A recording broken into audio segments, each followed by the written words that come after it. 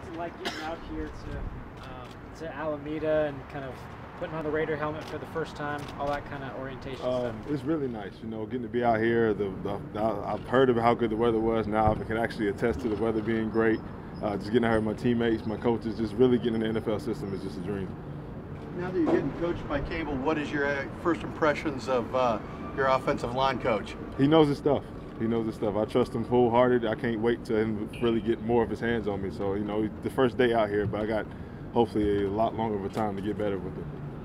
Coach is saying that, that you're starting on the right, that could change. Would you rather kind of stick to one side or the other, or does it really matter I'm to you? willing to play wherever they put me. As simple as that. Uh, I play, as you know, I played left my whole career, but it's no not an issue to go to right at all. Only, only individual drills today uh, for you and other top draft picks. What was the focus for you today, and what do you think you kind of got out of today's first day? Um, just getting used to his pace was definitely the number one. He said it was, it was going to be a fast paced than it was, uh, and then just you know getting uh, getting our feet wet and then going to see the film and getting better from it. Have you been able to meet any of the current offensive linemen or current players yet? Kolton said he, he ran into KO. Yeah, KO, uh, Breno, and that's about it. Actually, just those two. What are your first impressions of Kolton? I don't know if you knew much about him, you know, coming up in college or anything, but just having seen him today, what are your first impressions? Uh, he's a lot like myself, you know, athletic, humble, um, very easygoing, just loves to work, loves football.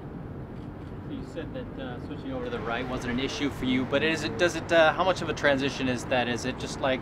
Is it seamless for you, or does it take a little getting used to? A little seamless, and then you know, obviously, I'm gonna need to work there just because I've had a lot more reps than left. But I mean, it's it's still it's still just as fine as left.